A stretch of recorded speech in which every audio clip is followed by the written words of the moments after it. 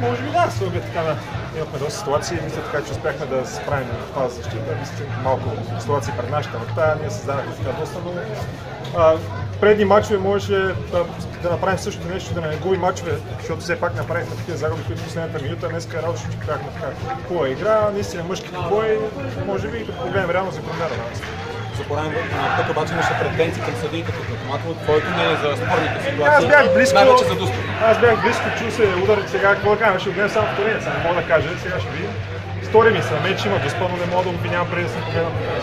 Според теб целенасочени ли са тези грешки на съдиите? Дайте да ги коментираме, допускат се грешки, дано не са умишлени, надявам се всичко да е, е просто нали, случайно. Така да го кажем и да не са целенасочени. Може ли се каже, че Потев тръгва нагоре след победата в предния кръг сега също един от грандовете също? Тръгва нагоре, пак казах, може би предните мачове така не ги изиграхме по-умно, но забравяме ги, каквото е било, Боте винаги играе за всеки мач, в който да играе. И днес се постарахме така да вземем три точки, не се получи, но ще гледаме, ще починем, ще тренираме и се надявам следващия мач. Ново ръководство с така доста сериозни обещания за проект. Това ще помогне ли и на отбора да тръгне? Надявам се, надявам се Ботев да има светло бъдеще и всички знаем на всеки каква е нещата и за какво е всичко това.